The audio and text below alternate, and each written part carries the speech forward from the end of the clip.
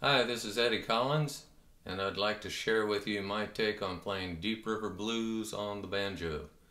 Uh, the tab for this is in the October 2017 issue of Banjo Newsletter. First thing is that it's kind of a Travis picking, which is more popular on guitar than banjo, but that means your thumb quite often is playing fourth string, third string, steady beat. One, two, three, four. We're going to play in the key of E. You don't need to retune. Try to be sure not to hit the fifth string. You'll be out of tune. And uh, some of the left hand fingerings. Start off with an E chord.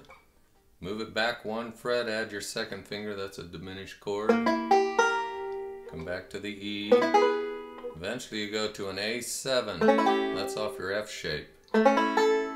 With the first finger barring the first two strings. Then you go down to a regular E chord. Eventually you come up to your D shape E chord at the fourth fret. And a bar B chord. And there's a couple tricky moves in the right hand. You should be able to hear the automatic bass on one, two, three, four.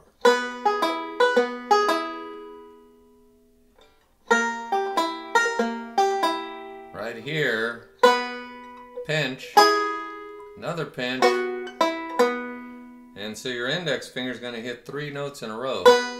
Pinch, pinch, single note, back to the thumb. When you go to the A7, you're playing every other note against the thumb, no pinches. Toward the very end, you have this little walk up. Thumb picks all the notes up and then switch to your bar right on that last note.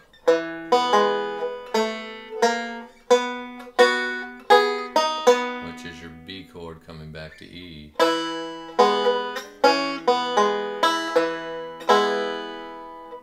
So now we'll play the entire tab with the close-ups on the right and the left hand.